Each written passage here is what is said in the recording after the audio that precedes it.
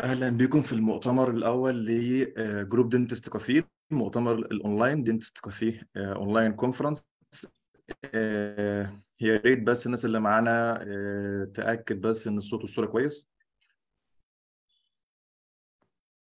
دكتور محمد أبو الغيط لو تقول لنا الصوت والصورة كويس بما إنك أول واحد.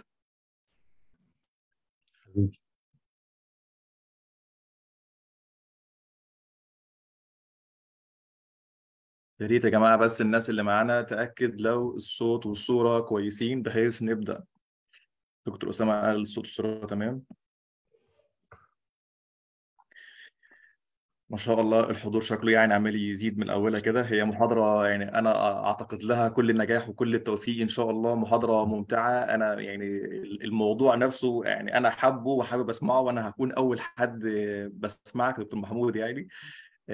أنا واحد من الناس ما كنتش مقتنع شوية بموضوع ال biomimetic ده بس لما بدأت أشتغل فيه وأجربه حقيقي فارق معايا فارق في ال result فارق في ال follow up آه، فأتمنى فعلا يكون هو ال concept اللي هيجي بعد كده إن شاء الله واللي هيسود يعني.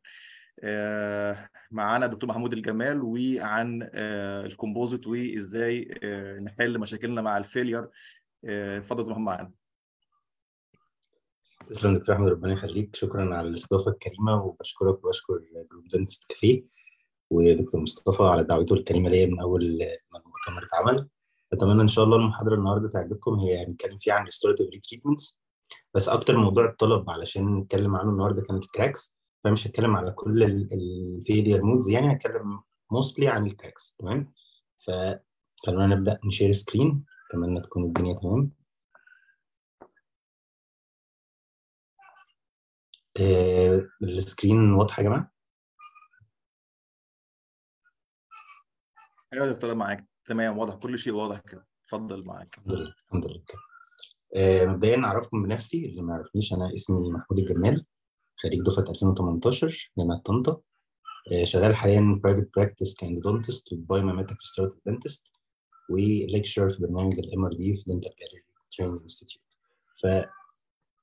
حابب أتكلم في بداية المحاضرة كده عن الفرق ما بين كلمة filling وكلمه restoration تمام؟ هو الفرق كبير جدا لأن كلمة filling معناها حشوة. restoration بالمعنى الحرفي هو إعادة تعويض لما فقد. تمام؟ فده دلوقتي تمثال اتكسر منه حتة فإحنا بنحشيه.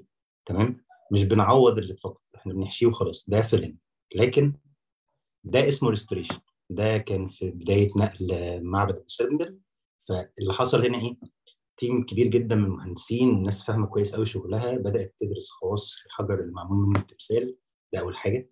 بدأت تشوف أكتر طريقة minimal invasive عشان يقطعوا بيها الحجر وأكتر طريقة هتحقق bonding كويس لما نيجي نلزقه مع بعض. فدي الطريقة اللي المفروض كلنا نفكر بيها إن إحنا ندرس الأول natural tooth بيحصل فيها إيه؟ بت act إزاي under load طيب هل بيحصل فيها natural cracks ولا لأ؟ طيب إحنا دلوقتي لو عايزين نعوض جزء مفقود من السن إزاي نلزقه بنفس القوة اللي كان ال enamel لازق فيها في ال dentin قد ال DEJ كل الحاجات دي كان بداية فكر ال biomimetic restorative dentistry وعشان كده لازم أول حاجة understand how the natural tooth is connected تمام؟ والتعريف biomimetic restorative dentistry من my mentor دكتور David Alleman بيقول reconnecting the tooth side to side front to back and top to bottom in the range of 30 to 50 megapascal اشمعنى ال range ده؟ اشمعنى القوة بتاعت 30 to 50 بالذات؟ لأن إحنا عارفين إن ال enamel ماسك في بعضه in the range of 30 megapascals بال micro tensile test المفروض إن هم بيتكسروا عند ال range بتاع 30 35 megapascal. طيب ال dentin mostly ماسك في بعضه أو ال enamel ماسك في ال DEJ at the range of 50 megapascal فبالتالي إحنا عايزين نعوض القوة اللي ال enamel ماسك فيها في ال dentin بالطبيعي عشان لو هنعمل composite أو أي adhesive restoration نوصل لنفس ال range ده اللي هو إحنا بنسميه ال biomimetic تمام؟ فأول paper كنت قرأتها في الموضوع حبيت جدا الفكر بتاع BRD كانت Urabe و Nakajima سنة 2000 physical properties of dentin enamel junction region اتكلمت عنها كتير وبحب دايما إن أنا أبدأ بيها أي محاضرة بشرحها عشان لو في حد جديد يكون متابع معانا من الأول. جم هنا عملوا تيست بسيط sample enamel و DEJ ال dentin ماسكين في بعض. شدوهم micro tensile test بجهاز اسمه tensilometer فاكتشفوا إن هو القوة اللي ماسك فيها ال enamel بال dentin average micro tensile 51.5 ميجا باسكال. بس الأهم كان ال failure mode اتكسروا إزاي؟ 50% من ال samples اتكسرت عند ال mantle dentin جوه ال dentin بس وال DEJ كان سليم.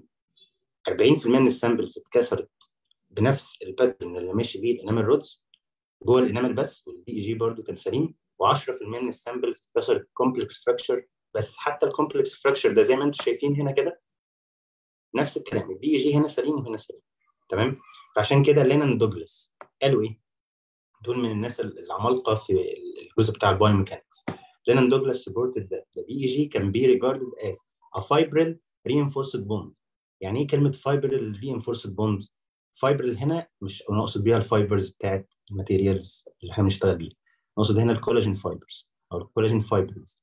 عند ال DEJ في ثلاث أنواع من ال fibers. أهمهم von Korff fibers مثلا. لو رجعنا في ال histology وال embryology هنعرف إن ال basement membrane أيام ما كانت ال ameloblast ماسكة في ال odontoblast ولسه هتعمل secretion لل dentin matrix وبعد كده ترد عليها ال ameloblast تعمل secretion لل enamel matrix proteins ويحصل لهم calcification كان في أنواع كتيرة جدا من ال fibers في الحتة دي. فخلت الحتة دي بالذات soft شوية. soft ما بين حاجة hard جدا very hard shell وما بين حاجة ال minerals فيها 70% اللي هي ال dentin. فدي حتة soft في النص. فعشان كده بيقول which is less highly mineralized than either bulk enamel or bulk dentin تمام؟ فتعالوا نشوف بقى أكتر سبب لل failures بنشوفه بعد مثلا حالات ال metals amalgam fillers مثلا أو بعد حالات فيها non bonded restoration بنسميها أحيانا white amalgams زي ال composites أو glass ionomers أو أي حاجة مش bonded بشكل كافي لل structure اللي بيحصل؟ أول حاجة دي paper اسمها crack arrest within the teeth at the dentinal enamel junction region caused by elastic modulus mismatch. هو إيه ال modulus of elasticity عموما أو ال elastic modulus أو Young modulus ده معامل المرونة بتاع المادة. كل مادة ليها معامل مرونة لوحدها. كل ال material لما بينزل عليها load بيحصل لها bending or flex تمام؟ ال enamel مش مش حاجة غريبة عن ال materials هي material فبالتالي برضو بيحصل فيها bending or flex وال dentin كذلك. وحتى الحتة بتاعت ال DEJ بيحصل عندها bending or flexing الفكرة كلها في إيه؟ لو جيت شفت الصورة اللي على الشمال اللي هي إيه؟ هتلاقوا في crack بسيط لسه في ال enamel ما وصلش حتى لل DEJ ما وصلش لل dentin. لما بيوصل ال crack ده إن هو يحصل له propagation بيبقى ماشي مع نفس ال orientation اللي ما بين ال enamel rods تمام؟ بيجي يحصل له هنا arrest at the DEJ اشمعنى؟ ليه بالذات عند ال DEJ بيقف؟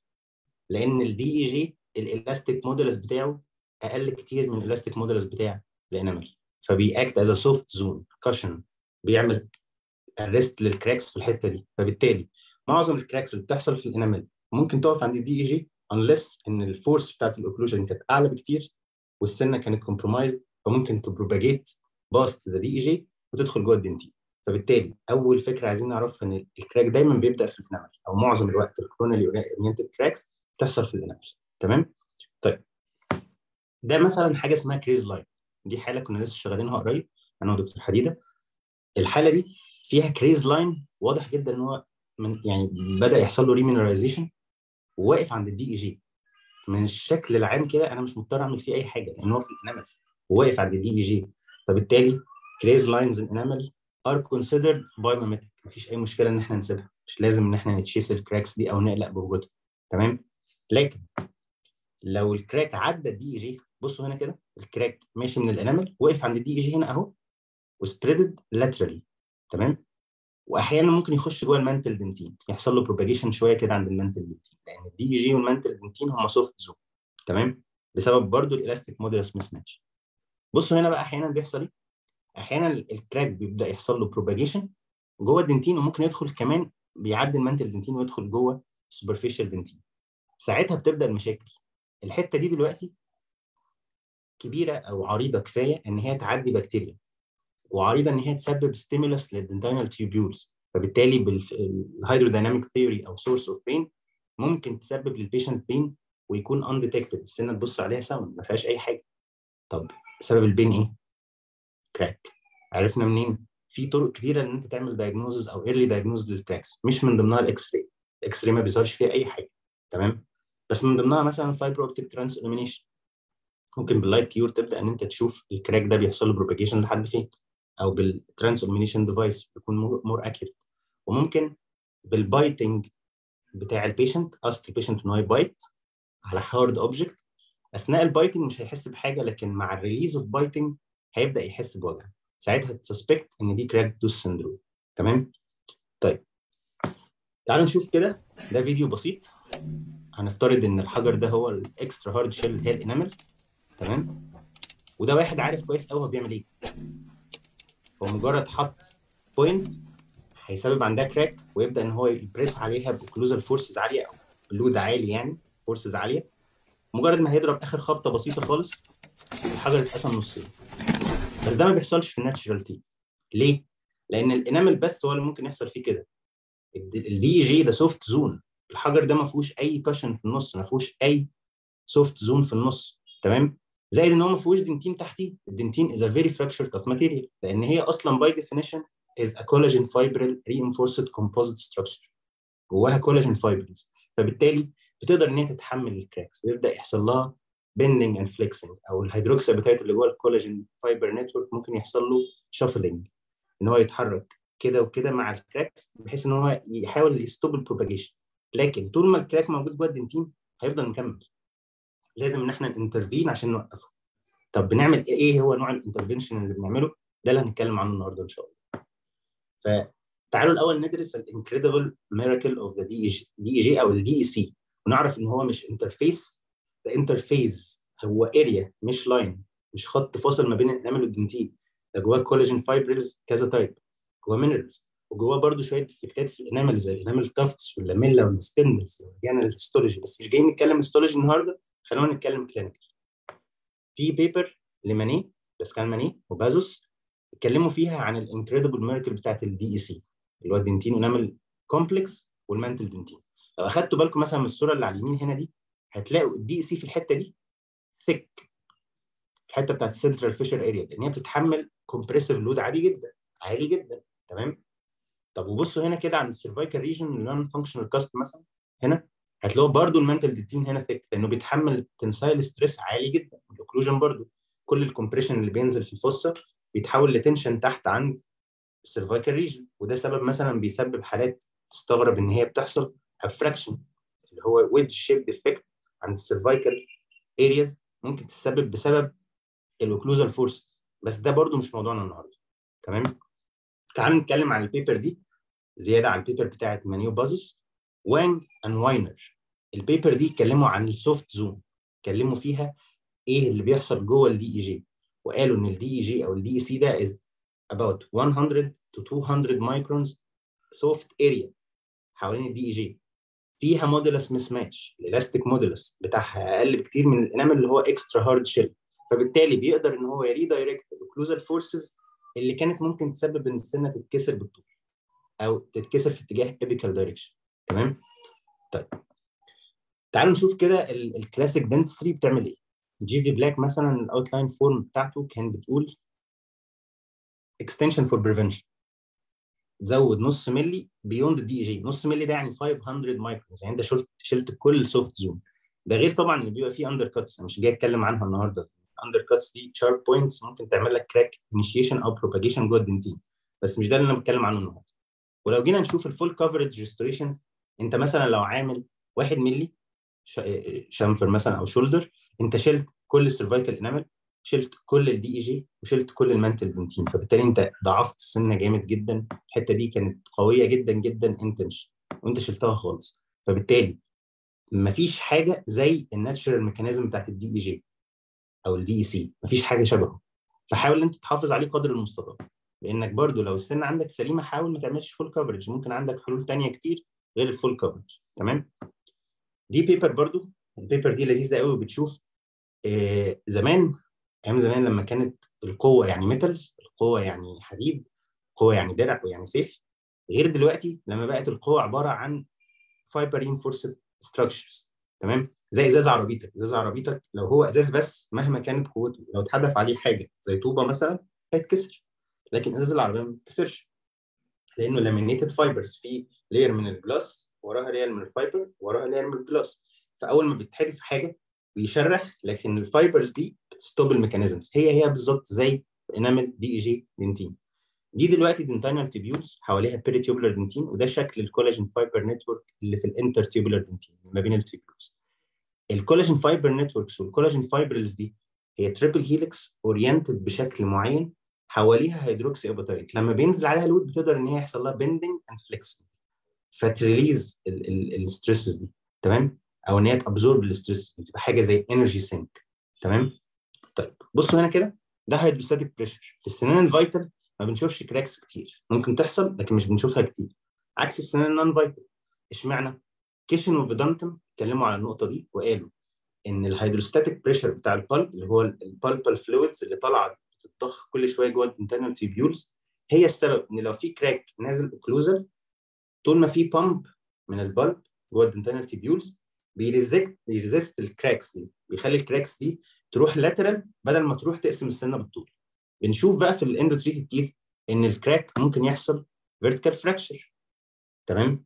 سواء ال vertical fracture ده split tooth جاي من ال coronal origin يعني أو إن هو vertical root fracture من ال root origin مش من ال crown origin تمام؟ فإيه هي بقى موضوع ال micro movements اللي بتحصل في ال natural teeth under load إحنا عرفنا دلوقتي إن السنة زيها زي أي material في الدنيا بينزل عليها load بيحصل لها bending and flex compression and tension تمام؟ تعالوا نشوف ال paper دي أو الفيديو ده مثلا ليوناردو مارتينز. ده واحد من الناس ال mentors في اخذوا الالمنت mastership جه هنا اتكلم عن إن لو السنة natural هي بتحصل لها bending and flexing بحوالي 3 microns أو 2.7 من 10 microns بتفتح ال cusp بيحصل deflection 2.7 من 10 microns وترجع تاني. تمام؟ طيب لو السنة دي فيها mesio-occlusal cavity بالشكل ده بتفتح 5 مايكرون وترجع تاني. لكن لو فيها mesio-occluso-distal cavity فاتح خالص ال marginal ridges mesial و distal الاثنين مع بعض بتتحرك ال bending and flexing حوالي 180 مايكرون 179 و4 من 10 مايكرون طب هو جاب الكلام ده منين؟ أكيد في test حصل واللي عمله كان باسكال ماني. باسكال ماني عمله هو و Oganesyan في ال paper الجميلة دي. premolar natural teeth حاجة اسمها finite element analysis بيحطوا sensors ويشوفوا ال sensors دي بتفتح قد إيه وترجع تقفل. تمام؟ فال natural teeth كانت بتتحرك 2.7 من 10 microns دي بنسميها shift shuffling of the hydroxyapatite crystals ال crystals نفسها بتتحرك بيحصل لها bending and flex في ال dentin ال dentin بيقدر يتحرك أكتر من كده شوية. تمام؟ لأن هو فيه كولاجين ال enamel صعب شوية في موضوع ال bending and flexing ما فيهوش organic matrix غير ال rod rod sheath اللي هي ال rod sheath اللي حوالين كل enamel rod أو enamel prism لما فتح هنا mesio-occlusal cavity اتحركت 5 مايكرون واما فتح MOD cavity اتحركت 179.4 من 10 مايكرون طب بصوا كده بقى تحت لو جينا بصينا هنا لو جينا رجعنا ال MO cavity ده composite filling هيتحرك 3.5 مايكرون تقريبا زي ال natural tooth تقريبا تمام؟ ولو جينا رجعنا ال MOD cavity ده ب composite filling بس بشرط إن هو يكون bonded كويس في ال range ال biomimetic range هيتحرك حوالي 7 مايكرون اللي هي قريبة برده من ال natural tooth مش بعيدة. شوف الفرق ما بين 180 ل 7 الموضوع يستاهل جدا إن أنت ت consider إنك تبطل تعمل amalgam في MOD لأن ال amalgam في ال MOD ممكن يأثر جدا على ال biomechanics بتاعت السنة ويكسرها طيب لو جينا هنا نشوف أول نقطة understanding how cracks start and how cracks propagate. تمام؟ ده diagram من كتاب هتكلم عنه كمان شوية. اسمه The New Science of Strong Materials. لواحد من عباقرة ال material science جيمس إدوارد جوردن. اتكلمت عنه مرتين أو ثلاثة قبل كده. بس برضه لازم أشرح حاجات من ال chapters اللي في الكتاب لأن الكتاب يستاهل فعلا إنك ترجع له. بس هو للأسف بيدرس في كلية هندسة مش بيدرس في طب الأسنان. وأنا شايفه بصراحة مهم جدا. لأن انت لو انت جاي تبقى اشتغل ك restorative dentist ومش فاهم ال load اللي بينزل على السنة بيتحرك إزاي وبيخلي السنة تتأثر إزاي هيبقى عندك مشكلة في اختيار ال cavity design بتاعك واختيار ال restorative techniques بتاعتك. فممكن تعمل حاجة وانت مش عارف الحاجة دي هيحصل فيها إيه أو هتؤدي إلى إيه ال prognosis بتاعها عامل إزاي. فال crack لما بيحصل بيبقى ما بين ذرات أي مادة. ذرات أي مادة بيبقى ما بينها interatomic bonds لو اتكسرت ال bond دي خلاص الذرة دي دلوقتي اللي على اليمين هنا ما بقتش connected مع الذرة اللي على الشمال هنا. فال crack بيحصل هنا وده بيكون يا جماعة قد angstrom level مش nano level حتى لا ده واحد من عشرة من نانو تمام؟ فخلونا هنا نتكلم على ال crack واصل لحد هنا. إيه اللي بيحصل بقى في ذرات المادة دي دلوقتي؟ يعني في الأول هنا لما ما فيش crack الذرات كلها بيحصل لها bending and flexing عادي خالص. طب لما بقى في crack لا الذرات اختلفت خالص. بقت الذرات دي دلوقتي بتبعد عن دي وتخلي ال crack تحت هنا كده في ال tip يحصل له propagation تمام؟ طب بصوا كده. اللي شاف ال post بتاع دكتور أحمد السيد أستاذنا حط post اتكلم فيه عن يا جماعة دلوقتي لو جالكم حالة زي كده هتشخصوها إيه؟ وهتعالجوها إزاي؟ اتكلمت معاه برايفت وصراحة يعني أنا بتعلم منه دايما. وهو صراحة كان قمة التواضع والذوق في الرد عليا. وقال لي أنا أحب إن أنا أحضر المحاضرة ونتكلم ونتناقش ويكون في إثراء للفكر. مدارس مختلفة كل واحد يتكلم زي ما هو عايز والناس تسمع واللي يعجبه الطريقة دي يشتغل بيها واللي يعجبه الطريقة الثانية يشتغل بيها. من غير جدال عبثي ومن غير ما نكون بنزايد على بعض في مين فاهم أكتر ومين تمام؟ أنا بسبب حاجة زي كده مثلا حضرت المحاضرة بتاعته بتاعت ادزك كان بيتكلم عنها biomimetics myth وال reality تمام؟ أنا شايف إن الاختلافات مش كبيرة قوي ما بين فكر المدرسة الفلانية أو الثانية كلنا متفقين في حوالي 70 ل 80% من معظم الحاجات اللي إحنا بنعملها. فالاختلافات البسيطة دي أنا شايف إن الاختلاف أو الاتفاق على الصواب أحسن من الاختلاف على الأصوب خلاص كل واحد يشوف الموضوع من وجهة نظره وخلاص. عشان كده أنا احترمت جدا طريقة ال presentation اللي عملها هو دكتور محمود القاضي محاضرة موفقة. ممكن أكون مختلف معاهم في بعض النقط مفيش أي مشكلة. الاختلاف صحي. أنا أنا مش حد اخترعت science أو أنا بدعي علم أو كده. أنا مجتهد بحاول إن أنا أعمل اللي عليا وأفهم كويس وأحاول إن أنا أشوف هل الطريقة اللي أنا بطبقها دي جايبة معايا نتيجة ولا لأ؟ وهو ده الدعوة لينا كلنا كل الناس يا جماعة اتكلموا مع بعض بطريقة تكون أنت بتضيف لي وأنا بضيف لك. بس مش أصل هو ال science هو لو في نقطتين متعارضين تماما يا إما واحد غلط يا إما الاثنين غلط. ما ينفعش يكونوا الاثنين صح تمام؟ ولكن ممكن نتفق إن إحنا نختلف عادي فالحالة دي مثلا سبب ال crack هنا إيه؟ هو crack بادئ في ال enamel في الناحية دي في ال mesial. وال tip بدأت تحصل لها propagation كده. فهو بادئ من ال mesial وداخل جوه occlusally تمام؟ وممكن بعد شوية ال restoration اللي هنا ده كمان لو شلناه نلاقي فيه crack عنده الناحية الثانية ليه؟ لأن ده MOD cavity ال cusp ات بتفتح وتقفل 180 مايكرون. فإيه اللي هيحصل؟ فلما ال cusp ات تفتح وتقفل 180 مايكرون مرة ال cusp هيفتح مش هيرجع تاني. فهيحصل crack تمام؟ لأن ده non-bonded restoration جميل؟ بالظبط زي ال diagram اللي عمله جيمس إدوارد جوردن في الشكل اللي أنا حاطه لكم هنا ال forces بقت ماشية كده. ال tip بتاعت ال crack بتكون قد angstrom level صعب جدا إن أنت تعمل لها detection ومن المستحيل clinically يعني أنت تقول إن أنا خلاص أنا ال crack أنا شايفه شايف نهايته هناك أهو. صعب جدا. ويكاد يكون مستحيل. تمام؟ ولكن لو جينا هنا للمحاضرة العظيمة بتاعت العظيم جريم ميليسيتش موجودة على ال website بتاع Academy of Biomimetic Restorative Dentistry اسمها 6 fracture modes of teeth إيه هي ال types بتاع ال coronally oriented cracks أنا هنا هتكلم عن ثلاث أنواع بس. تمام؟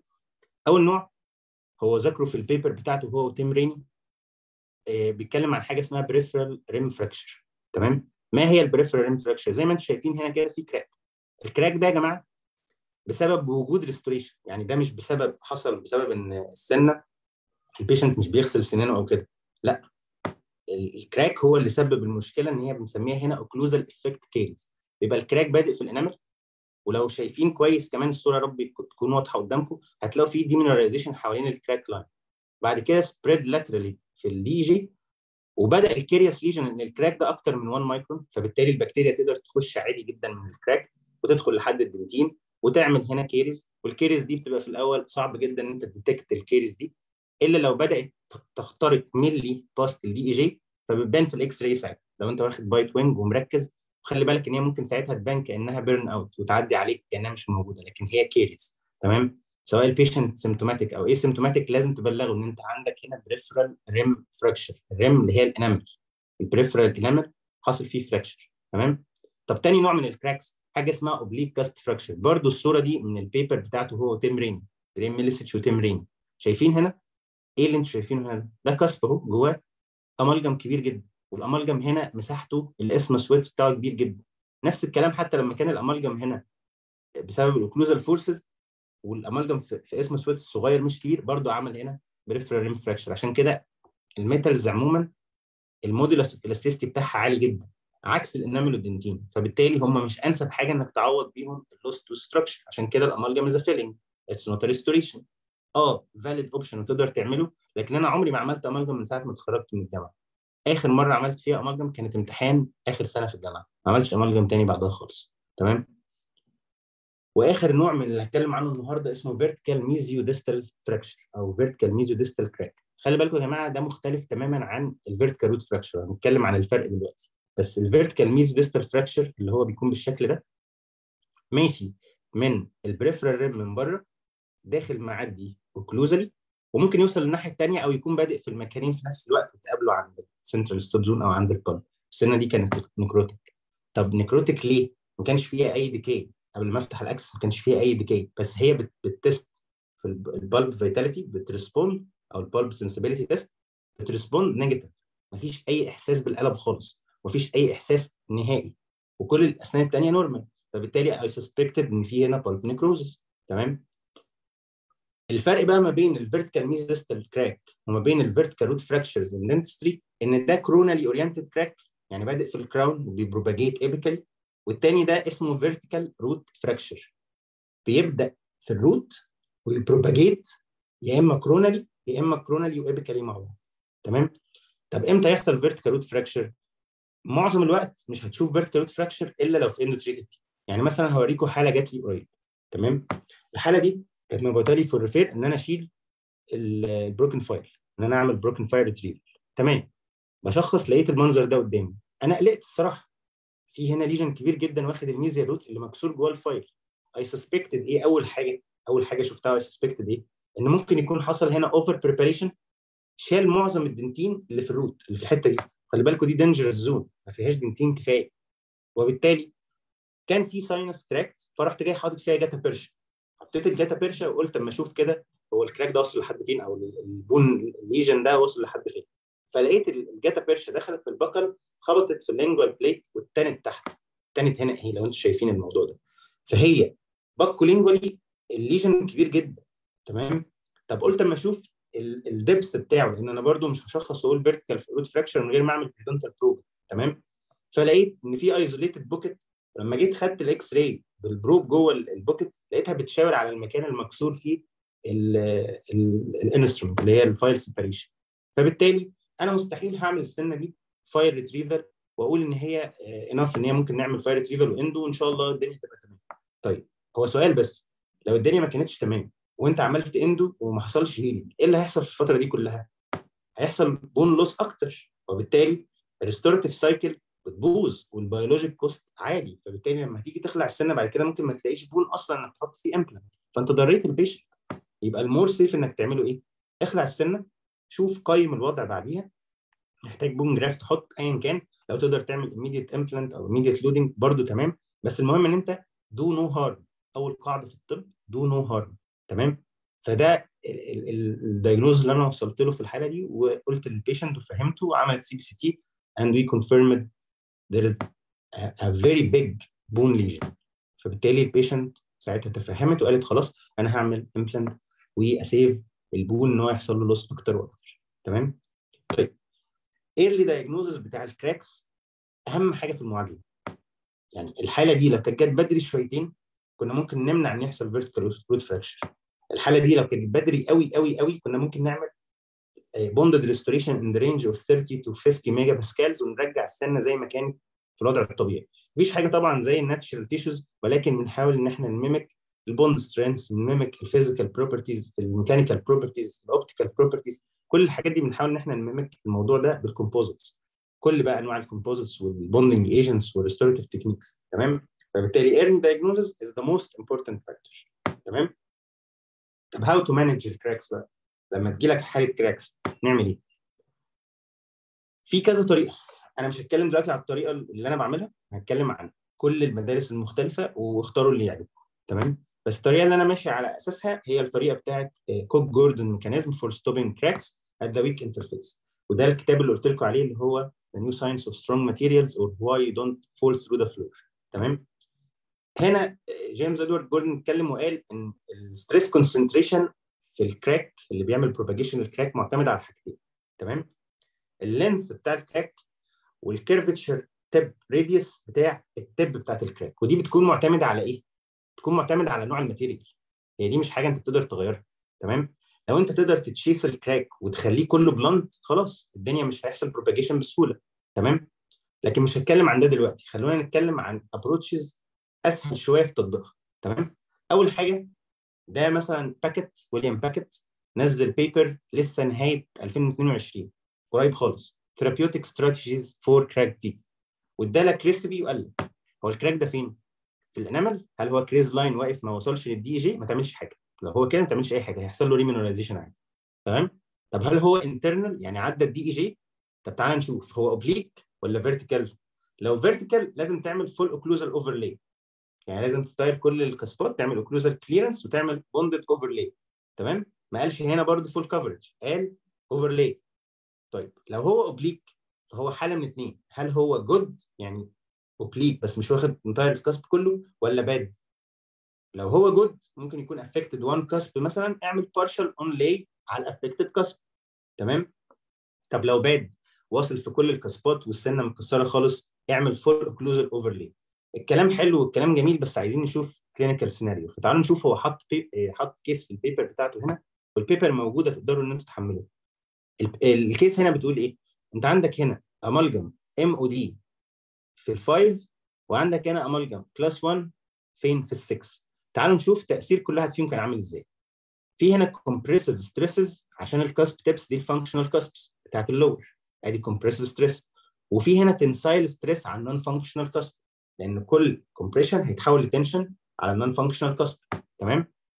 فأدي المشاكل اللي هو من الصورة بس قدر يقول لك ال cusp ده ممكن يكون affected ال central grooves دي اللي هي ما بين ال cusps ممكن برضو تكون affected وكذلك ال biorim اللي هي ال marginal ridges ممكن تكون affected شال ال amalgam وأدي الشكل اللي لقاه شكل الصراحة ما يطمنش خالص. تعال نشوف بعد كده عمل إيه. لو واخدين بالكم هو عمل هنا overlay لل five overlay لل six وبدأ إن هو ي chase ال cracks حاجة بسيطة بالشكل ده كده يعني. مش هيروح يشيل كل ال cracks اللي موجودة عشان ما يشيلش tooth structure كبير بس خلي بالك من حاجة. ال crack مثلا اللي في ال five ده dark brown ده بقاله كتير قوي ده قديم. عكس ال crack مثلا اللي هنا ال oblique اللي هنا ده ده لونه أبيض يعني جديد يعني ممكن يحصل له remineralization هنسيبه مش هنعمل فيه أي حاجة. تمام؟ ولكنه هو مش من مدرسة باكت مش من مدرسة إن أنت ت chase ال cracks لحد ما تجيب ال tip بتاعته. قال لك يا عم إحنا مش هنعمل أي حاجة غير إن إحنا نعمل bio-base immediate dentin sealing and resin coating دي أبسط حاجة خالص. وبعدين bonded overlays Emax ترجع ال extra hard shell اللي كانت موجوده في السنة الطبيعيه عمل على ال6 bonded overlay عمل على ال5 bonded overlay وشكرا ادي 3 year follow up وناجحه والدنيا جميلة خالص. مدرسة باكت هي هيها نفس مدرسة ستيفانو بوتاكياري. تعالوا نشوف مين ستيفانو بوتاكياري ده. عمل كتاب حلو قوي اسمه composite inlays and onlays تمام؟ الكتاب موجود يعني برضو ممكن نحط لكم اللينكات بتاعته. جميل؟ chapter 6 اتكلم عن ال crack tooth syndrome وأنا عجبني جدا جدا بوتاكياري في الحتة دي لأنه كان متصالح جدا مع نفسه. وقال يا جماعة في حالات بعملها بالطريقة دي بتنجح وفي حالات بعملها بالطريقة دي مش بتنجح. فأنا بصراحة ما أعرفش ليه مش بتنجح. فتعالوا نشوف كاتب إيه في في الكتاب ده. كاتب هنا early diagnosis of cracks in enamel and dentine is not elementary. And the need for endodontic treatment in cracked teeth if correctly indicated requires the patient to be informed of alternative treatments due to uncertainty over the prognosis. بمعنى انت ممكن عايز تعمل endo ويفضل ال symptoms موجودة وال patient ممكن انت تعمل التكنيك ده وبرضه تفضل ال symptoms وال prognosis موجود أو ال patient يفضل موجود. لأن مش معروف إيه السبب لأن الحتة دي في ال literature ما عليهاش overwhelming evidence ولكن نقول حاجة. انت لو عملت inlay onlay على secure highly bonded bio-base بال immediate dentin sealing و resin coating ده بداية طريق كويس جدا إن أنت تتعامل مع ال cracks. تمام؟ بس تفهم الأول إزاي تعرف تعمل bonding in the range of 30 to 50 megapascals وتتعامل إزاي مع ال polymerization stress بتاع ال composite تمام؟ بس خلي بالك من حاجة ثانية الراجل هنا بيقول إيه؟ In light of this whenever dealing with MOD restorations زي large amalgam fillings مثلا انا اصلا معترض على كلمه restorations دي هي fillings تمام the author believes it is advisable to remove all the old restorations and replace them for preventive reasons عشان ما يحصلش cracks with composite inlays or composite onlays with a modulus of elasticity that is considerably closer to that of dentine. بالتالي الامالجم المودولس اوف elasticity بتاعه عالي جدا. جميل؟ فأنت طول ما أنت سايبه في ال MOD restoration الكاسبات عادي يحصل لها incessant bending and flexing تفتح 180 مايكرون لأنه مش bonded هتيجي في يوم من الأيام ويحصل crack أو complete fracture لل cusp تمام؟ لكن لو حطيت bonded restoration سواء composite أو سيراميك ممكن Emax تحطه ك onlay مفيش أي مشكلة. ده هيبقى أحسن كتير من ناحية ال reconnection بتاع ال walls بتاعت السنة side to side front to back and top to bottom تمام؟ بس تبقى فاهم إزاي تعمل ده. جميل؟ فهنا حط case و survival 6 years follow up مفيش فيها أي مشاكل خالص وقال لك أنا هنا عملت إيه؟ شلت كل ال restoration وعملت overlay اللي هي ال very large restorations دي وبعدين رحت جاي حاطط overlay Emax والناحيه الثانية هنا حط inlay Emax والدنيا جميلة مفيش أي مشاكل طالما هو highly bonded to the tooth structure تمام؟ طيب هل الحالات دي أو الطريقة دي بتنجح 100% في كل الحالات؟ هو نفسه قايل في الكتاب لا في بعض الحالات ال crack بيفضل يحصل له propagation وهو ما يعرفش السبب. والسبب هنا إن هو ما راحش يذاكر هندسة. وده طبعا مش حاجة تعيبه. أنا ما فهمش أي حاجة في الهندسة ولكني بحب أتعلم. فرحت للفاهمين في الهندسة ورحت للفاهمين في ال biomechanics وحاولت إن أنا أفهم إيه اللي بيحصل في ال crack عشان يحصل له propagation وإزاي نقدر إن إحنا نوقفه. تمام؟ فخلينا نسأل سؤال مهم. Is there a certain way for predictable treatment of cracks الشخص الوحيد اللي أعرفه alive يعني بيدرس حاجة زي كده؟ هو دكتور ديفيد أليمان ده Alleman Center of Biomimetic Dentistry. والحمد لله أنا خلصت ال mastership بس عايز أقول حاجة في الحتة دي. الطريقة دي هي عبارة عن lessons ورا بعض تمام؟ من أول الكيرز ريموفال اند بوينتس من أول الكراك ريموفال اند بوينتس بعد كده إزاي تتعامل مع ال substrate اللي هو ال dentin وت maximize ال bond strength بال IDS وال resin coating how to compensate for the C factor stresses. How to compensate for كل حاجة ممكن تحصل polymerization ستريس إن هو يكسر لك انامل مثلا أو حاجة. فأنا النهارده هحاول إن أنا أدي وجهة نظر مختلفة شوية وأنتوا ليكوا القرار موافقين تمام مش موافقين ممكن تكملوا بالطريقة بتاعت بوتاكيال تمام؟ فدي مثلا دكتور لياندو. مارتينز the بيقول إن أنت. مسموح لك عادي. بعيدا عن call مش that مسموح لك عادي إنك تعمل دايسكشن. بالشكل ده كده. That's 5 the مللي في السنترال ستوب زون ممكن تنزل لحد horizontally 9 or مللي في. البريفرال سيل زون ومش هتعمل بالب اكسبوجر طب إزاي أعمل تشيسنج للكراك هو از ات وايز تو تشيس ذا كراك إن أنا أشيل الدنتين الافكتد اللي هو المكسور ده؟ هو الموضوع ممكن أنت تشوف إن هو مش وايز بس هي دي الطريقة الوحيدة فور بريدكتبل كراك دايسكشن اند بريدكتبل كراك مانجمنت عشان توقف ال symptoms بتاعت ال patient أنا ما أعرفش طرق تانية. قد يكون في طرق تانية بس أنا ما شفتهاش. Maybe I don't know what I don't know. لكن أنا اتكلمت مع ناس كتير قوي في النقطة دي ومحدش عنده إجابة. والإجابة الوحيدة لقيتها عند دكتور ديفيد أليمان. تمام؟ فنرجع تاني للطريقة بتاعت جيمس إدوارد جوردون كان بيعملوا إيه؟ في الطيارات مثلا لو جناح الطيارة فيه crack بيجيبوا round bur rose head كبير ويشيلوا ال crack ده كله ويعملوا له هنا في الحتة دي. راونديشن اند بلانتنج للتب بتاعت الكراك ويرستور الترنش ده كله بفايبر هل ده مناسب لل tooth structure والله في العموم كده ما نقدرش نقول آه. لكن لو فاهم كويس قوي ال orientation ال dentin موجود فين؟ ال pulp موجود فين؟ هتعمل perforation ولا مش هتعمل؟ عندك magnification ولا مش عندك؟ كل الحاجات دي هتساعدك إنك تعمل crack dissection و crack stopping mechanism بالطريقة بتاعت Cook-Gordon mechanism تمام؟ إن هو بي approach ال crack at the weakest interface اللي هو فين؟ ال tip لو أنت عملت blunting لل tip it will require so much energy علشان ترجع تعمل initiation لل crack من تاني. طب what if إنك ما وصلتش لل tip يعني فضلت تمشي ورا ال crack وبعدين خفت وقلت خلاص أنا اوقف هنا. okay أنت dissected كتير قوي من ال lever arm بتاعت ال crack فبالتالي it will require more energy برضه عشان تكسر السن تمام؟ بس هي المشكلة مش في إنك تعمل dissection لل crack المشكلة أنت إزاي أصلا هتعمل sealing لل trench ده؟ It's a very very high C factor cavity. يعني هنا لو حطيت أي bonded material غالبا هتفك. لو أنت مش عارف تتعامل مع ال polymerization shrinkage stresses تمام؟ وعشان كده تعالوا هنشوف هنعمل إيه. ما تفكرش الموضوع من الناحيه ال macro اللي هي enamel و dentin وخلاص. لا فكر من الناحيه ال micro وال nano اللي هي إيه؟ اللي هي hydroxyapatite crystals حوالين ال collagen fibers اللي هي الصورة اللي أنا حاطها لكم من شوية. تمام؟ الصورة دي. آدي ال dentinal tubules حواليها collagen fibers حواليها apatite بيحصل لها shape shuffling لو السنة سليمة. لكن لو السنة badly destructed ممكن يحصل فيها initiation أو propagation لل crack وال crack ده ممكن يوصل السنة إن هي تبقى split tooth تمام؟ فبالتالي نعمل إيه؟ دي النقطة مثلا اللي اتكلمت فيها عن موضوع ال polymerization stress لو أنت مفكر إنك هتعمل crack trench كده dissection وبعدين هتحط composite و cure وخلاص الدنيا تمام صدقني الموضوع أعقد من كده بكتير. لأنك لو حطيت composite في very high C factor area زي مثلا دي bulk fill مثلا في class 1 cavity إيه اللي هيحصل؟ ال stresses هتبقى toward ال center of the mass بتاعت ال composite فهتفك من كل ال walls ال bonded عليها. زي إيه مثلا؟ هنا مثلا في marginal loss الناحية الثانية في micro leakage هنا في الحتة دي.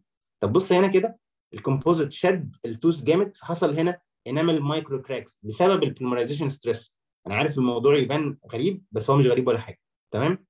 هنا مثلا في gap أدت ل post operative sensitivity لأنه قريب من ال pulp هنا مثلا lack of adaptation علشان كان bulk fill هنا مثلا secondary decay حاجات كتيرة قوي.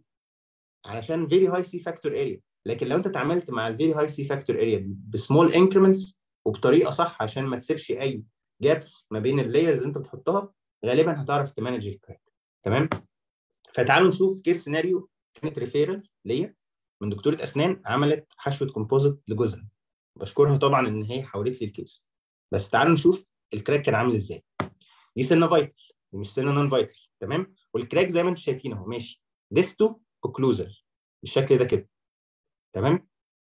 أنا هنا عملت disruption لل tip بتاعت ال crack في ال peripheral seal zone يعني بعيد خالص عن ال pulp تمام؟ وكنت مقلق هنا إن أنا أعمل exposure لأن مش عايز أوصل ل endo مش عايز أوصل لل patient جاي composite failure وأنا بعده له. أدخل ال- السنة في حالة endo تمام؟ فتعالوا نشوف.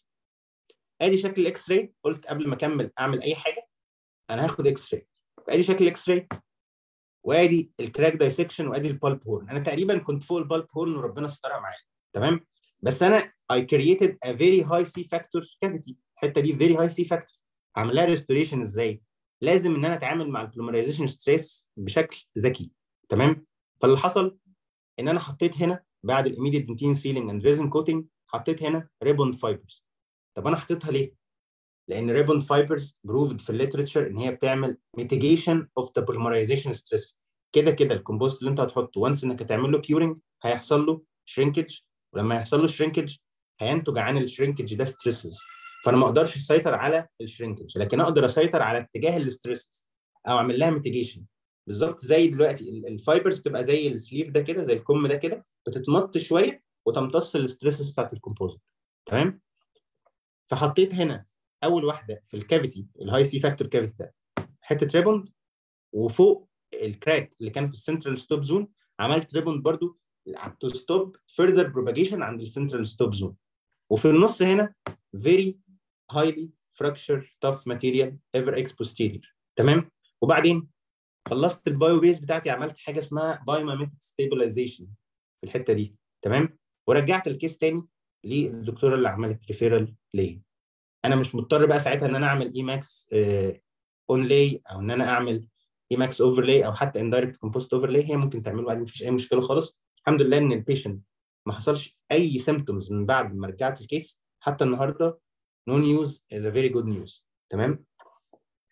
أدي شكل ال x-ray Ribbond fiber هنا to secure the bio-base لو واخدين بالكم ده ال immediate dentin sealing بتاعي. أنا مستخدم هنا SE Protect فال SE Protect بتكون 40 مايكرون فبتبان radiolucent تمام؟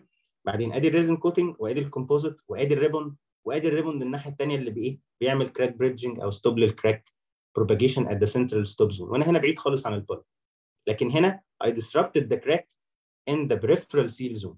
تمام؟ تكنيك من وجهة نظري هو أفضل بكتير من التكنيك بتاع بوتاكياري أو بتاع باكيت اللي كانوا بيقولوا هنعمل بس ال bio-base وبعدين نحط overlay وخلاص. تمام؟ لو أنت disrupted the crack بس أنت فاهم بتعمل إيه. يعني أنت فاهم ال orientation بتاع ال bur واصل لحد فين وعندك قايس كويس ال length وال depth بتاع ال crack وشايف كويس بإنك معاك مايكروسكوب الحاجات دي لو عندك أنت في ال safe side okay كمل. جميل؟ لكن لو الحاجات دي مش عندك لازم الأول إن أنت يا إما يكون عندك science عالي قوي وفاهم كويس قوي بت practice الحاجات دي كتير يا إما تشتري مايكروسكوب أو ت refer ال case تمام؟ فايه بقى موضوع ال polymerization stress ده؟ بصوا يا جماعة لو افترضنا إن ده Kaizen restorative formula ال formula اللي أنا عملتها بملخص حياتي وفهمي للموضوع. دي for diagnosis عندنا ست حاجات بنعمل لهم diagnosis caries cracks structure integrity pulpal status periodontal status occlusal analysis pre-operative بعد كده restorative equation substrate dentin bonding system time الثلاثه دول لو قدرت إن أنت تعلي الجودة بتاعتهم أو تكتر فيهم هيحصل إن ال bond strength تبقى أعلى. ثلاث حاجات تانيين polymerization stress و C-factor و ري factor اللي هو ال thickness بتاع ال layer الحاجات دول لو قدرت إنك تقللهم ال bond strength هتعلى. تمام؟ وآخر حاجة ال esthetics وال occlusal adjustments أنا مش أحسن حد يتكلم عنهم فما بتكلمش عنهم كتير. تمام؟ هنا paper حلو قوي علشان نفهم موضوع ال residual stresses أو ال polymerization stresses لواحد اسمه Versluis اللي متابعني على ال profile هيعرف إن أنا جبت سيرة Versluis ده قبل كده. ال paper بتاعت do light cures أو do composites shrink toward the light source or away from the light source تمام؟ فاتكلم هنا على ال residual stresses في العموم وقال لك إن لو أنت عملت early bond يعني حطيت ال bonding agent رحت جاي عامل bonding لل composite على طول هيحصل early stresses وال early stresses دي هتسبب residual stresses وهتروح في حتة من ثلاثة هنتكلم عنهم دلوقتي. بس ال bond دي هتقدر تعيش لمدة من أربع لسبع سنين عادي. بس ممكن تعمل لك cracks ممكن تعمل لك micro leakage ممكن تعمل لك decay الحاجات دي ممكن يكون ال patient asymptomatic خلي بالك. تمام؟ وال tooth هتبقى under strain from the residual stresses ال stresses اللي باقية دي بتعمل ممكن cracks في ال enamel تمام؟ وال occlusal forces لما تحطها على ال stresses اللي موجودة دي ممكن تعمل fracture للكسر تمام؟ فال stresses بتروح لحتة من ثلاثة حتة وحشة جدا وحتة نص نص وحتة كويسة جدا. لو أنت فاهم polymerization dynamics وشفت المحاضرة بتاعت ال polymerization dynamics اللي أنا حاططها على ال profile عندي هتفهم أنا بتكلم عن إيه. أول حاجة ال stresses ممكن تروح لل hybrid layer اللي أنت بتلزق بيها على tooth structure اللي هو ال bond بتاعتك.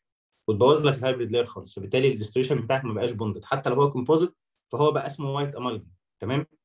تاني حاجة اللي هي الحتة النص نص هي ممكن تروح لل surrounding tooth structure فتسبب strain أو bending and flexing لل cusps تمام؟ وتالت حاجة ودي أفضل حاجة إحنا عايزين نعملها إن يحصل relaxation by flow inside the composite itself تمام؟ لو أنت استخدمت stress-reduced direct technique small increments layering بالراحة خالص تبقى فاهم ال factor بتاع ال time تبقى فاهم الفاكتور بتاع الفوليوم بتاع الثيكنس بتاع الكومبوزيت بتاعك. كل الحاجات دي بتأثر. تمام؟ فده مثلا very high C-factor cavity لو أنت حطيت 1 increment وعملت bulk fill في class 1 اعرف إن كده كده في ال class 1 مفيش dentin bond خلاص. ال composite هي shrink ويبقى ماسك في ال enamel بس وممكن يفك كمان من ال enamel ويعمل micro leakage تمام؟ لأن ال stress بيكون toward center of the mass طب بص كده. لو حصل وفك خالص هيسيب لك gap ال gap دي هتبقى micro leakage gap بال micro يعني تقدر تدخل بكتيريا و fluids وكل حاجة. تمام؟ يا إما ممكن كمان تعمل لك cusp fracture أو cracks في ال enamel لو ده كان very thin cusp يعني ال shrinkage ده بيزق ال cusp ات بيحصل لها bending and flex تمام؟ فعشان كده دايما حاول تقلل ال C-factor بال configuration بتاع ال cavity design بتاعك. دايما حاول إن أنت تتصرف على الاساس ده. تمام؟ إن ال composite بيحصل له shrinkage وال shrinkage بينتج عنه stresses وال stresses هتخلق لك مشاكل كتير يا إما في ال hybrid layer يا إما في ال tooth structure نفسه. تمام؟ فخليك small increments consider ال time factor تمام؟ دي مثلا تجربة عملها دكتور مات Nejad ده أول حد أنا شفته بيتكلم عن الموضوع ده وبرده الصورة دي من موقع Style Italiano تمام حط glass carpule وعمل لها surface treatment من جوه وحط فيها bulk fill وعمل لها curing فإيه اللي حصل؟ بعد فترة بعد مثلا حوالي أربع لخمس دقائق اتكسرت ال glass carpule حصل فيها crack ليه؟ لأن ال amount of stress كان عالي جدا تمام لو انت ما كنتش عامل surface treatment كويس وحاطط bond كان هيحصل complete debonding جميل؟ فلو انت ما انت شايف ال stresses بعينك في في السنة ادي تجربة وريتها لك بعينك عشان ما تقدرش ان انت إيه تنكر الموضوع ده بعد كده. تمام؟ طيب ادي class 1 cavity في very high C factor لو حطيت فيه small increments تبقى أحسن. لو انت حطيت فيه bulk fill تمام؟ خصوصا لو هو very high C factor C factor يا جماعة هي ال ratio ما بين ال bonded surfaces لل unbonded surfaces فاحنا في class 1 بيبقى عندنا خمسة وولز بوندد البكل واللينجوال والميزيال والديستال والفلور كل دول عليهم bond لو انت مسكت ال composite فيهم كلهم مرة واحدة هيتخانقوا مع بعض. هيحصل competition تمام؟ فهيحصل في النص stress في ال center of the mass هيخلي ال composite يفك أو يكسر السن. تمام؟ فبالتالي ما تعملش bulk fill في class 1 أبسط حاجة يعني. تمام؟ إيه بقى موضوع ال one third rule ده بقى؟ إحنا كده بنتكلم على restorative retreatments فاحنا دخلنا دلوقتي في ال clinical case scenarios فتعالوا اوريكم أول case معايا مثلا من ال cases اللي بتجيلي. أدي حالة جاية لي amalgam واضح جدا إن حواليه marginal staining وواضح جدا إن ال isthmus width بتاعه أكتر من 2 مللي اللي هو أكتر من تلت ال intercuspal distance لو جينا حطينا نقطة هنا ونقطة هنا هيبقى أكتر من التلت. ال amalgam هنا إيه اللي حصل له؟ ولا أي حاجة. بس هو بيعمل bending and flexing لل tooth فبيخلق gap أو microleakage وال gap دي هتدخل بكتيريا والبكتيريا هتعمل recurrent decay وفي تحت هنا الحتة دي اللي هو ال undercut ال undercut ده بيضغط على ال cusp في حتة very sharp الحتة ال very sharp دي هتعمل crack هي كمان. تمام؟ فلما جيت شلت ال amalgam لقيت ده قدامي. إيه اللي أنتوا شايفينه ده يا جماعة؟ في recurrent decay كده كده. و multiple oblique cusp fractures انت عندك هنا أدي crack أدي crack تاني. بس ده جديد وده قديم شوية. أدي crack تالت. ادي crack رابع واخد ال cusp ده كله. ادي crack خامس cracks بالهبل تمام؟ وفي recurrent decay وفي pulp necrosis أنا فتحت لقيت السنة بالمنظر ده كده تمام؟ فاضطريت إن أنا أشيل كل ال cracks دي وأعمل complete occlusal coverage جميل؟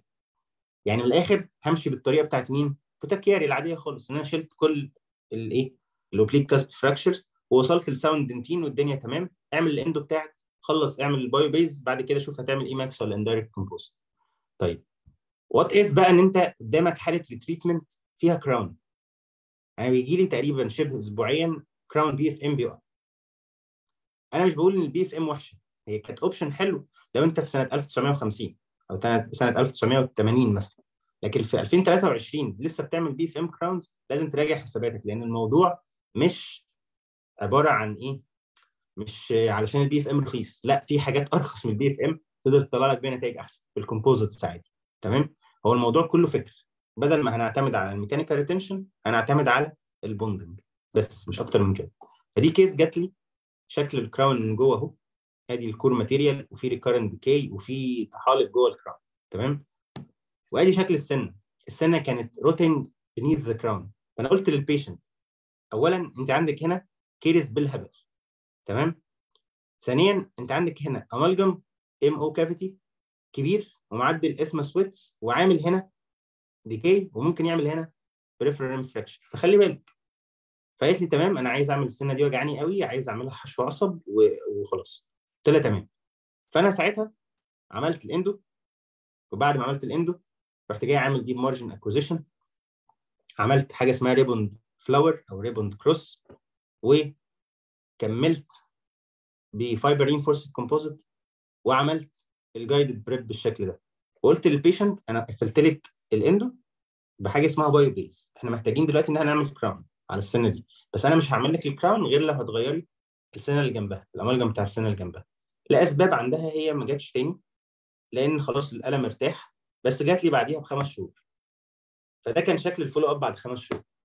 حصل شوية slight over eruption للسنة. وما زال لسه ال amalgam موجود ولسه في leakage حوالين ال amalgam ولسه في overhang وبرده قلت لها هنبدأ في ال amalgam نشيله قبل ما أعمل هنا ال crown أنا ممكن عادي بشوية air abrasion و roughening للسنة دي ألزق عليها ال crown تاني وما فيش أي مشكلة. لكن ال amalgam ده أنا عايز أشيله. تمام؟ أول قاعدة في الطب do no harm فبالتالي أنا مش عايز أسبب لك أحط crown في حتة السنة اللي جنبها بتعاني. وهرجع أشيل الكلام ده فممكن اذي ال crown اللي أنا حطيته. طب ما نبدأ بترتيب منطقي. تمام؟ فكان شكل ال follow up فيه بس علشان oral hygiene في شوية gingivitis بسيطة هنا بسيطة خالص. تمام؟ لكن السنة ال bio base سليمه فيها شوية staining ممكن أعمل polishing أحسن من كده بس حتى لو عملت polishing لمدة خمس شهور كده كده هيحصل staining تمام؟ طب تعالوا نشوف بقى الأسوأ والأسوأ. لو جالك MOD amalgam في أكتر من ثلث ال intercuspal distance تمام؟ بصوا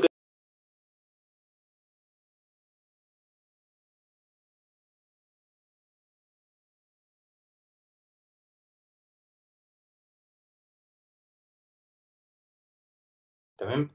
ال amalgam كان كبير جدا. ال amalgam ما اتكسرش لسه موجود زي ما هو proud جدا وعايش جوه restoration بس السنة الحمد لله اتكسر. تمام؟ فال patient ده اسمه catastrophic failure حالة زي كده. لما كانت بتجي لي زمان extraction تمام؟ ممكن لو لسه في ferrule كنت حافظ عليها. لكن حالة زي كده it's very hard to be predictable treatment تمام؟ إنك تعمل لها predictable treatment صعب جدا. تمام؟ لحد ما بدأت أتعرف على النوع ده من طب الأسنان. والموضوع فعلا يا جماعة يستاهل إنك تتعلمه. الموضوع مش والله ما بعمل marketing ولا أي حاجة. أنا شخصيا انبسطت جدا ان اتعلمت الحاجة دي وفعلا فرق معايا في ال follow-ups وال patient satisfaction وال long-term trust بتاعت ال patient تمام؟ ال patient بيطلع من عندي بيجيب لي بعديه ثلاثة وأربعة أصحابه عندهم نفس المشاكل دي وبيعانوا بقالهم سنين. تمام؟ ففتحت وعملت isolation لو أنت تقدر تعمل isolation اذا أنت تقدر تعمل treatment جميل؟ الفكرة كلها إن أنت تكون عارف بقى تتعامل من بعد ال isolation ان مثلا ال cusp ما فيهوش ferrule تقريبا أو ممكن يكون فيه. I don't care about mechanical ferrule أنا كده كده بعتمد على ال internal adhesive ferrule إيه بقى موضوع ال internal adhesive ferrule ده؟ أدي يا جماعة Ribbond cross أدي شكل Ribbond بحطه في اثنين fibers بالشكل ده كده. تمام؟ بس لازم أكون فاهم كويس قوي أنا بعمل ال bio-base إزاي. يعني بعمل immediate dentin sealing بإيه؟ إيه نوع ال bond بعملها باني تكنيك بحط ال flowable أنهي نوع flowable نص مللي دول بقيسهم إزاي؟ ال time factor كل الحاجات دي مهمة جدا تمام؟ بعد ما بحط Ribbond بعمل curing بروح جاي حاطط هنا everX في النص. ده very fracture tough material وال modulus of elasticity بتاعها قريب جدا جدا جدا من ال modulus of elasticity بتاعت ال deep dentin تمام؟ وبعدين قفل ال bio-base بتاعك. أنا لحد هنا مش فارق معايا أصلا ال patient هيعمل إيه بعديها. عادي. تمام؟ أنا على الأقل دلوقتي عملت له حاجة اسمها biomimetic stabilization عملت stabilization لل tooth السنة دي كانت ممكن تتخلع ودلوقتي قدرنا نحافظ عليها. تمام؟ technique ال build-up بيفرق. نوع ال material بتفرق. نوع ال... ال... كل حاجة انت بتعمل كل خطوة حرفيا ممكن نتكلم عنها محاضرة ثلاث ساعات. واللي حضر لي قبل كده المحاضرة بتاعه ال Bondodontics أكيد فاهم أنا بتكلم عن إيه. إحنا قعدنا نتكلم ثلاث ساعات في scientific day قبل كده عن ال bonding بس. والأسئلة خدت ساعة ونص تانيين. تمام؟ فالموضوع مش very complicated ولكن ال details اللي فيه كتيرة جدا.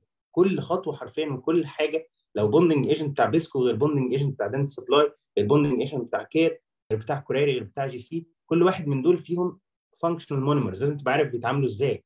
وبعديها نوع ال flowable كل flowable بيفرق عن التاني. نوع ال composite اللي أنت بتحطه ك dentin replacement بيفرق. الشكل النهائي لل cavity اللي أنت بتحط فيه والتكنيك بتاع ال build-up بيفرق. الحاجات دي كلها لازم تحطها في الحسبان. تمام؟ أنا مش مش بصعب الدنيا عليك. أنا كل اللي بقوله لك إن أنت لو مشيت بالتكنيك ده غالبا ال failures هتقل قد تقترب ل zero تمام؟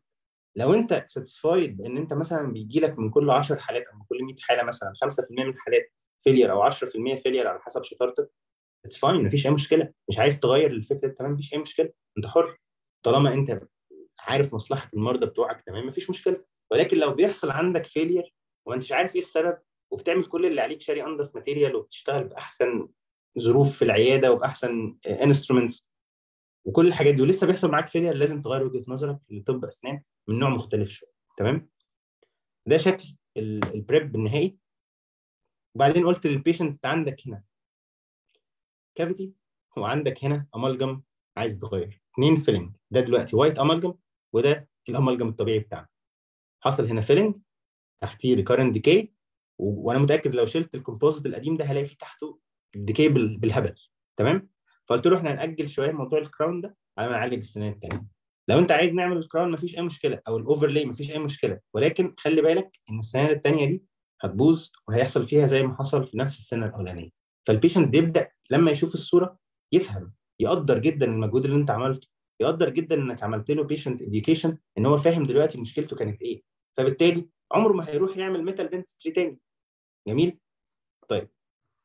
نعمل direct ولا نعمل indirect ده سؤال برضو كان من ضمن الأسئلة اللي أنتوا طلبتوا فيها موضوع المحاضرة. أنا هجيب لكم case صغيرة خالص هي آخر case معانا النهارده إن شاء الله. بس الأول نشرح ال 1 2 3 4 rule بتاع الدكتور ديفيد قال لك إن في عندك في ال risk assessment بتاعت السنة أربع قواعد. القاعدة الأولانية cracks are not biomimetic أي crack لازم تتعامل معاه. بالذات ال peripheral rim fracture اللي بيؤدي إلى occlusal effect caries ده أسهل حاجة اللي بنشوفها يوميا. تمام؟ ما بتكلمش على الانواع الأصعب في ال cracks. تاني حاجة ال isthmus ما ينفعش يزيد عن 2 مللي.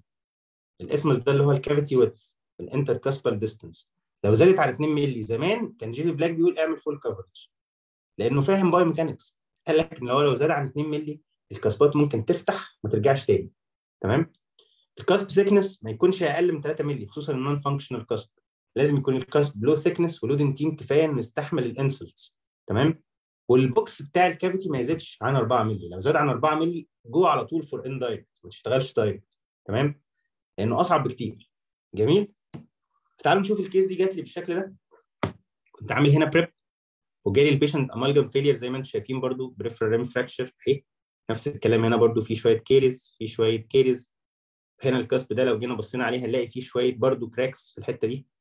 فجيت أشوف قلت أعمله direct ولا أعمله direct كنت باخد scan للسنه اللي قبليها لقيت السنة اللي هي يعني كنت باخد scan لدي فلقيت السنة دي لو أنا هعمل هنا inlay مثلا أو هروح جاي شايل cusp واحد وأعمل onlay ال occlusion مش favorable ال occlusion مش في مصلحتي المرة دي.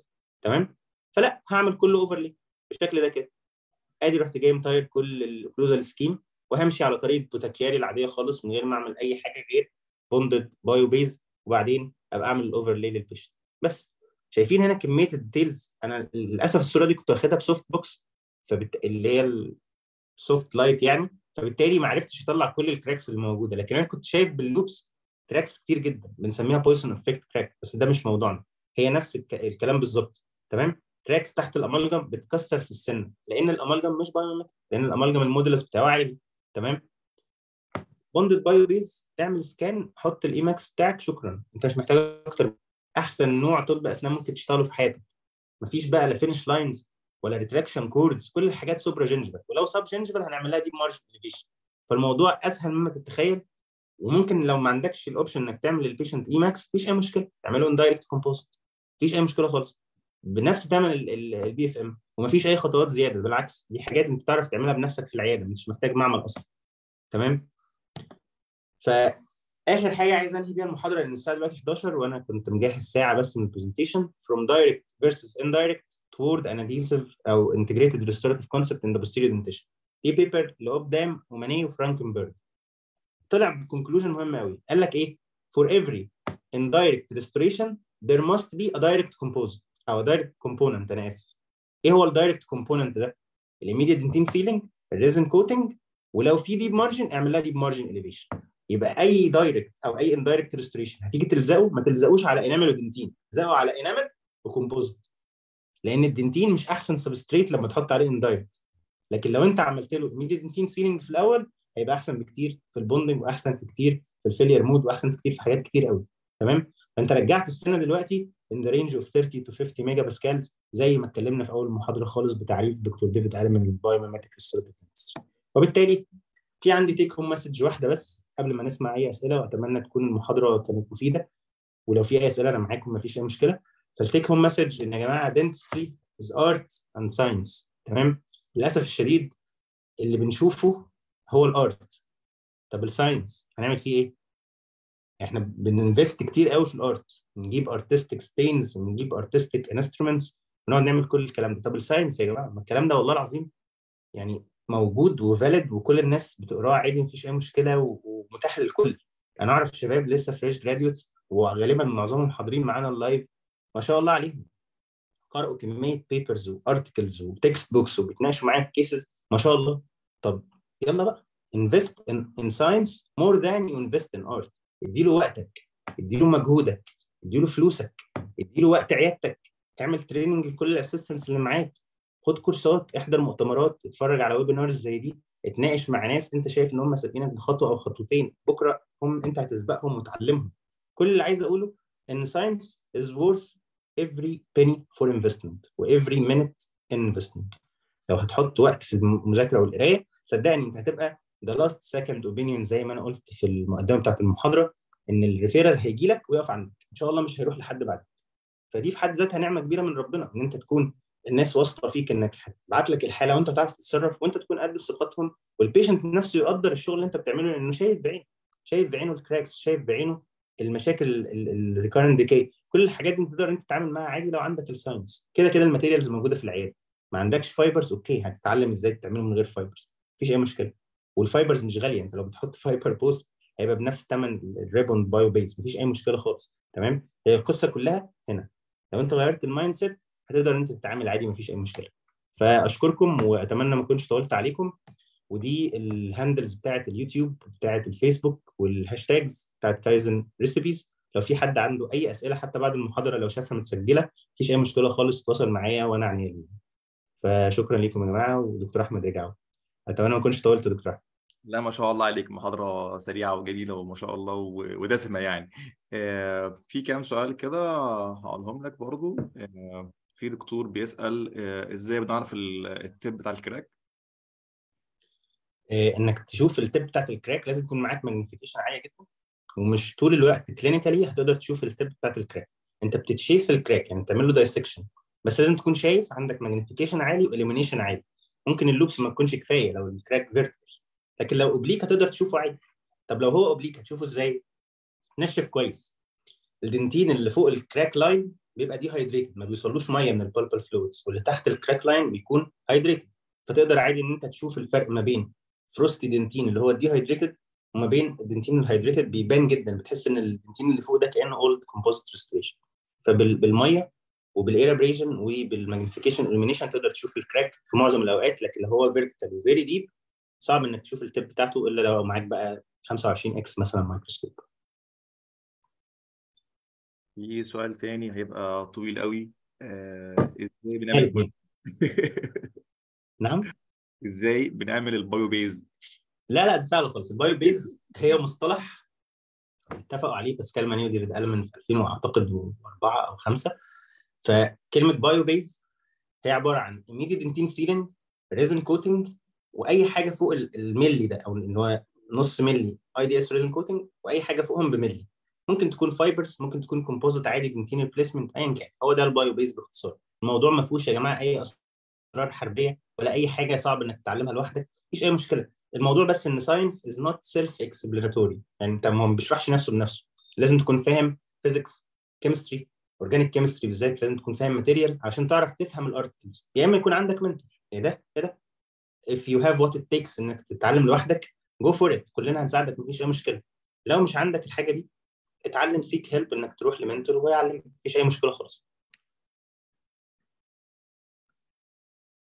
في كمان سؤال حد بيسأل على آخر case أنت عرضتها ليه عملت inlay onlay مش inlay ده سؤال حلو جدا.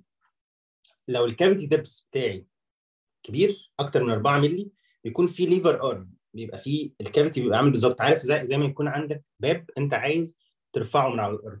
هل بالمنطقي إنك هتخش بصباعك أو بضوافرك تحت الباب وتحاول ترفعه؟ صعب جدا. لكن لو جبت عتلة اللي هي ذراع القوة حاجة معدن تحطها تحت الباب وتضغط من الناحية الثانية lever تمام؟ كان أرشميدس بيقول دايما إيه؟ Give me a fulcrum and I can move the universe. هو حرفيا أنت محتاج ذراع قوة طويل وتحط amount of force مناسبة هترفع أي حاجة من الناحية الثانية نفس اللي بيحصل في السنة. لو ال cavity depth كبير جدا وأنت حطيت lever arm مع كل occlusal force ده بيحصل له bending and flexing هيضعف ده أول سبب. فبالتالي بعمل آه، اللي هو reduction occlusal reduction تاني سبب إن أنا مش شايف ال cracks اللي في ال undercuts ما هو ال wall عامل كده أنا مش شايف ال cracks اللي هنا. فلو شلت ال cusp ده كويس هقدر إن أنا أشوف ال cracks أكتر وأشوف أعمل risk assessment أحسن. فبالتالي ب go from direct لل indirect وفي ناس أعرفهم والله دكتور محمد حديد أنت أكيد عارف دكتور أحمد بيعمل حالات ال indirect restorations ب direct composite عادي خالص.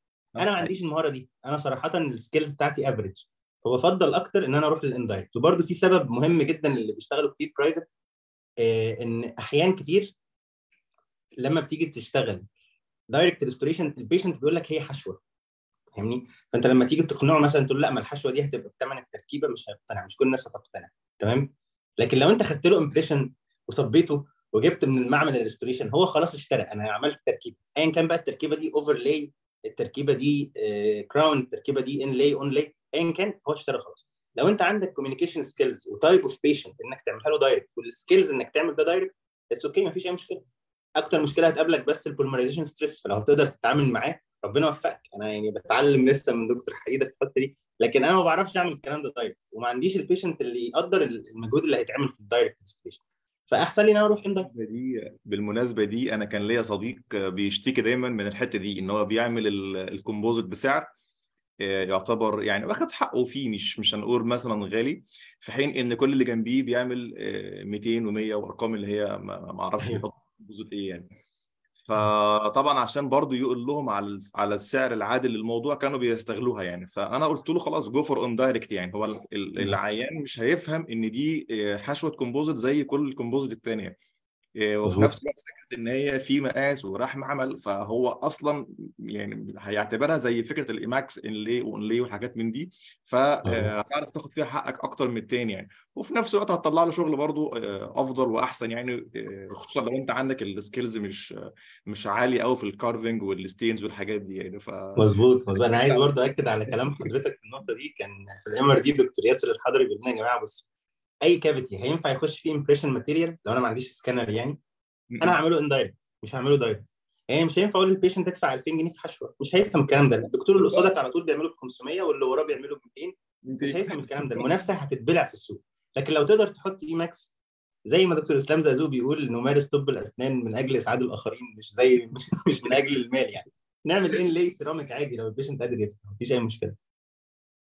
في سؤال تاني. can I detect ال crack using ال CDD caries detector dye okay آه ينفع بس آه هقول لك حاجة. ال caries detector dye هنا هي مش بت detect ال crack هي بتخش بتتحبس في في ال gap يعني هي ال caries detector dye مجرد إن هي بتعمل staining للكولاجين.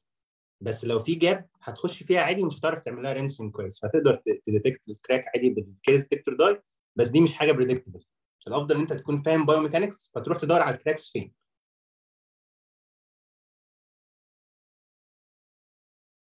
في سؤال أنا مش فاهمه شوية آه، بيقول لو عايز أبدأ في الشغل بال bio-base أجيب أدوات منين؟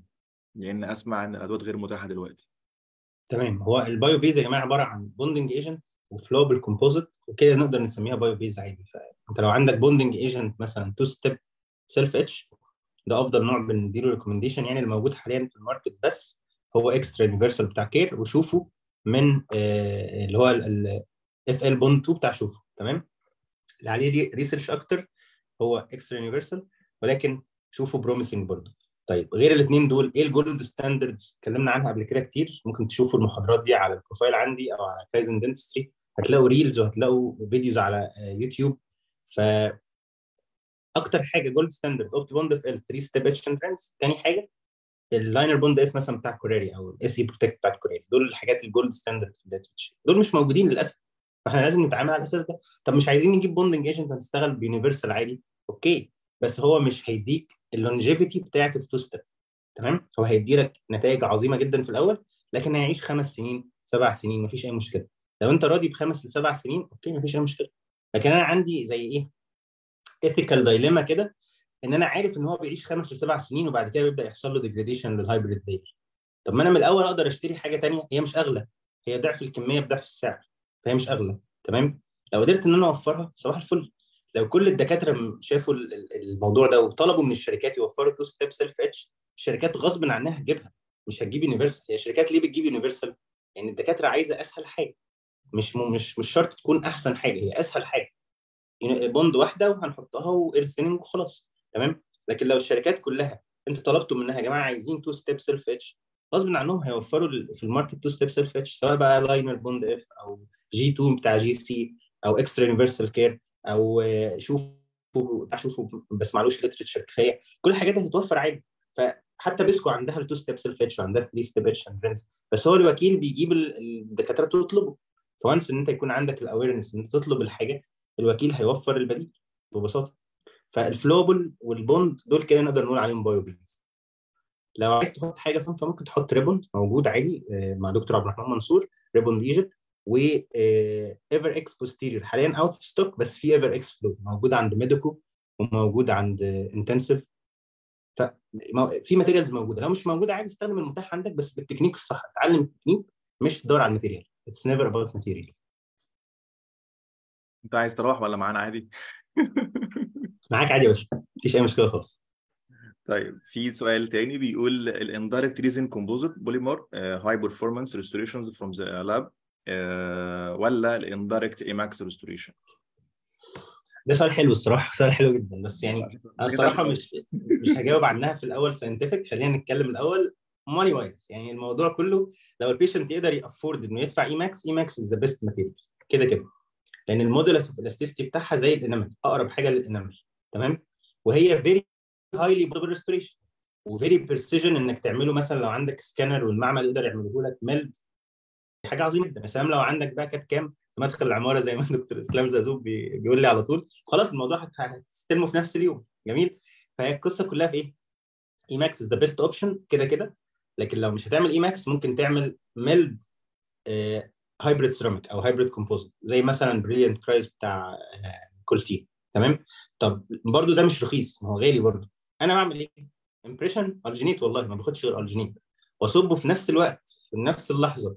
ب stone 45 دقيقة بينشف بطلعه أخلص ال indirect restoration بنفس نوع ال composite اللي أنا بشتغل بيه اللي هو ال micro hybrid composite لل posterior عشان ال wear resistance بتاعته عالية وأقدر أشكله براحتي وكده.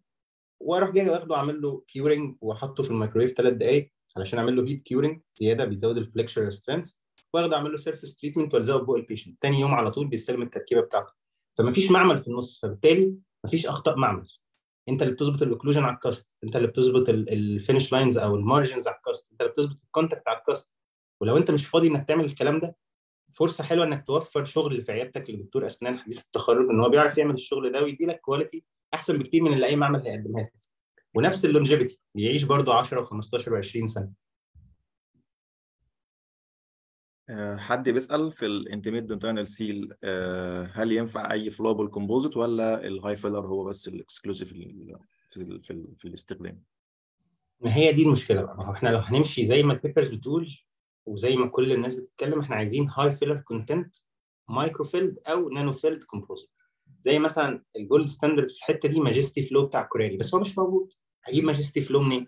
هو مش موجود. كان موجود زمان عند تراي إيه اللي هو AP-X Flow نفس ال filler content بس هو الاسم متغير وبتاع. بس حاليا برضه out of stock مش موجود. فتقدر تشتغل تشتغل بإيه؟ أنا أحيانا بشتغل ب Tokuyama Flow Quick أحيانا بشتغل بأي حاجة bulk fill high filled filler content زي بتاع 3M مثلا أو في حاجات كتير في منتجات كتير قوي في ال market. أهم حاجة ال viscosity تكون قليلة. إنك تعرف تشكله كويس عشان ما يكونش بي بيحصل له زي إيه peeling كده أو بينزل من على ال walls أنت عايز تشكله كويس. تعرف تقيس النص ملي صح لأن النص ملي critical جدا. تمام؟ فتقدر عادي تشتغل بأي نوع flowable composite مش ده اللي هيفرق قد ما ال bonding agent هو اللي هيفرق. في حد بيسأل آه يعني هو يعني هو السؤال ده الجواب أعتقد يعني اللي هو we rely on adhesion uh, to restore teeth without ferrule uh, or we have to extract it. يعني لو السنة ما فيهاش ferrule uh, نقدر نعتمد على ال bonding strength الناتج من ال... نصيحتي إن ما, ما, ما ينفعش إن أنت على طول ت shift من mechanical ferrule point of view ل adhesive ferrule point of view من غير ما ت invest شوية time حلو كده إنك تتعلم. تمام؟ إنك تقرأ ال articles تفهم كل تكنيك بيتعمل إزاي بالظبط وإيه ال evidence اللي بي support ده. فالموضوع إنك تنقل من هنا لهنا. لو عملته غلط مش هيجيب معاك النتائج اللي أنت مستنيها. فبالتالي خليك برضو محافظ على الحتة بتاعت الميكانيكال ريتنشن الفيرول الاكسترنال فيرول البيبر بتاعت آه اسمهم إيه؟ آه جوستو Jotkowitz و هم اثنين يعني كانوا في ال MRD عندنا بس أنا بصراحة ما ذاكرتش paper من زمان قوي. Samet Samet and Jotkowitz تمام؟ آه فالاثنين دول عملوا paper قال لك external ferrule تحدده إزاي إمتى تقول إن restorable إمتى تقول إن هي محتاجة post أو إن هي non-restorable أو الكلام ده. تمام؟ ال paper بتاعت Samet دي ممكن احطها لكم في ال comment. إنك تنقل من ده ال concept بتاع ال internal adhesive ferrule بتاع ال biomimetic approach دي transition هياخد منك شوية time شوية effort شوية برضه investment money أو سواء كورسز بقى أو سواء إنك تجيب materials أو أو أو. بس أنا من وجهة نظري يعني كل حاجة في الدنيا تقدر تتعلمها for free بس هل أنت عندك الوقت إنك تحط كل المجهود ده لوحدك بدون mentor هي ده المعادلة البسيطة يعني. تمام؟ فبلاش تنقل من ال external ferrule لل internal adhesive ferrule على طول. خليك برضو ماشي mechanical واعمل bonding صح. عادي مفيش أي مشكلة. تمام؟ فده نصيحتي. لكن هل نقدر نعتمد على ال internal adhesive ferrule لوحده؟ أكيد طبعا. أكيد طبعا وال papers كتير جدا بت support الموضوع ده. في سؤال أعتقد اتجاوب يعني اللي هو الفرق بين ال E.max وال indirect composite يعني. الفرق البسيط بقى ما بينهم غير money-wise يعني. هو ال modulus of elasticity بتاع ال enam بتاع ال E.max شبه ال enamel فهو ما بيحصلوش bending and flexing مش flexible قوي. هو rigid material stiff material تمام؟ ال indirect composite ال modulus of elasticity بتاعه حوالي 20 gigapascal الثاني أكتر من 60 gigapascal. ال 20 gigapascal ده بيحصل له bending and flexing أكتر. بيبقى flexible أكتر شوية. فده ممكن يعرض ال indirect composite إن هو يحصل له debonding ك ك overlay مثلا يحصل له debonding أسهل شوية من ال E.max مع إنه هو نفس ال highly bonded material هما الاثنين لكن ال flexing بتاع ال indirect composite أقل كتير من E.max أو أعلى كتير من E.max أنا اسف فبالتالي هو بيحصل له bending and flexing كتير فبيحصل له failure at the cement gap تمام؟ فلما بيحصل له debonding تقدر أنت تاخده تاني surface treatment تعمل له bonding ده إحنا بنسميه safe fail mechanism أو fail-safe mechanism failure favorable failure مش catastrophic failure تمام؟ فتقدر تشتغل الاثنين عادي. هو الفكرة كلها البيشنت كانت افورد اي ماكس هتروح في ال indirect composite لو ال patient can afford E.max ومصلحتك طبعا إنك تشتغل E.max تكسب أكتر ال bio-base enough ولا بنحط فوقها مثلا composite تاني أو حاجة؟ آه بعد ال IDS resin coating يفضل إن أنت تعمل ملي at least fiber reinforced composite سواء everX أو Ribbond inside a composite bead ده بيفرق كتير برضو في ال fracture toughness بيفرق كتير برضو في ال decoupling وال polymerization stress mitigation يعني كل الحاجات دي بتفرق. أنا أنا اللي بيسأل أنا شفت comment دلوقتي بس للأسف أنا مش شايف كل ال comments بيقول لو حد عايز دكتور محمد الرفاعي لو حد عايز يبدأ يتعلم أو يقرأ يبدأ منين؟ يا جماعة والله في محاضرات عندي على ال profile في cases موجودة في صفحات ناس كتير جدا. دكتور حيدر وليد عامل معاه ثلاثة lives قبل كده. دكتور هاشم بينزل على طول lives في ناس كتير قوي بتتكلم في الموضوع ده دلوقتي. فشوف انت ال source اللي تقدر ان انت تقراه وابدأ بيه وأي حاجة هتبدأ بيها هتفيدك كده كده. حتى لو قريت paper واحدة. هتغير كتير في وجهة نظرك. تمام؟ في نفس الوقت من المنظور الآخر برضو انت بت keep updated بال cases اللي بتنزل بوجهات النظر اللي بتتعرض وتشوف بعد كده هل ده هيبقى مناسب إنك تذاكر كل الحاجات دي لوحدك؟ Okay. seek help بإنك تبعت رسالة مثلا لأي حد هيرد عليك. كل الناس بترد على فكرة ال community بتاع BRD من أول ال mentors الأساسيين بقى ديفيد المان باسكال ماني الناس دي كلها بترد private عادي مفيش أي مشكلة. وكذلك برضو اللي موجودين هنا بيردوا عادي مفيش أي مشكلة. بس الأهم من كده إيه؟ إنك تحط effort أنت هتذاكر بقى بنفسك. يا إما أسهل طريق إنك تروح short cut 3 day condensed course وخلاص وهتتعلم معظم ال concepts بعد كده هتعرف تقرأ لوحدك كويس. فأنا مش جاي هنا أعمل marketing خالص على قد ما أنا جاي والله بحاول إن أنا أفيد الناس اللي ادتني وقتها ووثقوا إن هم إيه؟ يحضروا المحاضرة فتقدر تذاكر لوحدك تقدر إنك تاخد كورس تقدر إنك تتابع cases كل الحاجات دي هتفيدك في حد بيسأل هل صح نستخدم ال EverX Flow as resin coat؟ لا ما ينفعش لسببين EverX Flow يا جماعة هو self leveling material بمعنى إيه؟ إنك هتحطه في cavity هو لوحده بنظرية الاواني المستطرقة كده هي self level زي ال SDR مثلا بتاع دنس تمام؟ فبالتالي ما ينفعش إن أنا أعمله في ال resin coating وهو غالي أصلا إنك تعمله في ال resin coating يعني السرنجة ب 1900 جنيه دلوقتي. تمام؟ فبالتالي لا هتعرف تحطه على ال walls ولا هيبقى هو أحسن حاجة زائد إن ال fillers اللي فيه اللي هي ال fibers مش هتكون بتعمل يعني إيه ال effect اللي أنت عايزه تبقى extension لل hybrid layer أنت محتاج particulate filler يا إما nano filled يا إما micro filled تمام؟ فلا ما يف... ما يفضلش خالص إن إحنا نعمل في ال resin coat في الدكتور محمد اللي هو السؤال اللي حضرتك قريته اللي هو لو حد عاوز يتعلم يبدأ منين أنا أعتقد هنحط له اللينكات اللي أنت قلت عليها الكتب و link حضرتك وهو يتابع مفيش مشكلة وفي حد بيسأل في حالة ال indirect بتلزق ال indirect إزاي يعني؟ يعني هل بتحتاج تعمل أي surface treatment لل bio base اللي عملتها ولا بتلزق ب light cure على طول اسمه heat cure heated resin على طول؟ ده كلام حلو قوي أنا كده كده في خطوة لازم إن أنا أعملها لل intaglio لل surface بتاع ال indirect composite ولل bio base بتاعتي وال enamel air abrasion آه يعني air abrasion دلوقتي يا جماعة مش رفاهية هو أساس حاجة أساسية جدا في العيادة زي الكونترا. ممكن تجيب حاجة رخيصة زي جيب أو بيبا كير ما بقاش غالي يعني زي اكوا كير مثلا مع إن طبعا اكوا كير هو يعتبر ال gold standard في ال market عندنا بس لو قادر إنك تشتريه good for you تمام؟ at least have an micro etcher micro etcher يكون عندك في العيادة زي جيب أو بيبا كير. هتعمل رافيننج وايرابريجن للبايو بيز وللإنتاج سيرفيس حط ال bonding agent حط ال heated composite أو ال resin cement وبعدين cure كله مع بعضه بعد ما تشيل ال excess فالموضوع لذيذ خالص يعني. أحسن حاجة فيه بالنسبة لي مثلا مفيش finish lines ومفيش حاجة sub gingival فأنا أقدر أشيل ال excess براحتي من غير ما يبقى في أي حاجة قلقاني من ال gingival health يعني. آخر سؤال معانا وبعدين هقفل الكومنتات. تمام. طبعا ممكن طريقة عمل ال IDS مفيش أي مشكلة خالص. أنا أنا شايف دكتور مصطفى زردق حاطط link التليجرام channel بتاعته هو مجمع كل الفيديوهات بتاعتي هناك أصلا. وهي كده كده متجمعة عندي على ال profile موجودة على اليوتيوب. أنا عامل فيديو demonstration لل IDS وال resin coating وال decoupling وال stain و deep margin elevation موجودة على كايزن دنتستري على اليوتيوب channel ممكن اسيب لكم ال link دلوقتي في ال comments ويعني آه، أي حاجة تحتاجوها والله أنا لو أقدر إن أنا اوصلها بفيديو أو بمحاضرة live زي كده عينيا الاثنين يعني مفيش أي مشكلة. هو في حد حاول يدخل على القناة وقال له أو مش مش عارف أو مش راضي يدخل على القناة مش عارف برضه إيه المشكلة. فهو ممكن بقى تحط ال link وبقى أسهل يعني. عينيا الاثنين مفيش أي مشكلة خالص عينيا الاثنين حطه حالا. تمام يا دكتور. ال IDS ده فيديو هتحطه له مثلا أو كده؟ اللي هو بيسأل عن آه IDS. حالا دلوقتي. هحطه حالا دلوقتي أهو. ال link أصلا بتاع ال channel عليه كل ال demos والمحاضرات اللي قبل كده. آه، مش عارف بجيبها منين. share آه okay.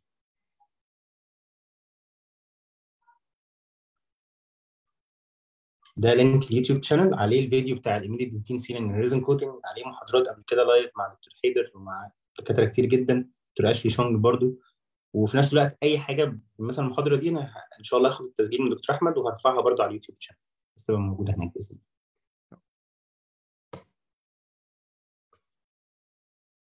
دكتور إحنا سهرناك وتعبناك معانا تحت امرك والله يا دكتور أتمنى والله يكون الناس استفادت مش, عارف. أشوف كل ال comments بس أتمنى. تكون الناس اتبسطت يعني لا ما شاء الله ال- التعليقات كلها يعني ناس بتدعي لك وبتشكر في المحاضرة. أنا كمان الصراحة سعيد بالمحاضرة وانبسطت بيها جدا يعني.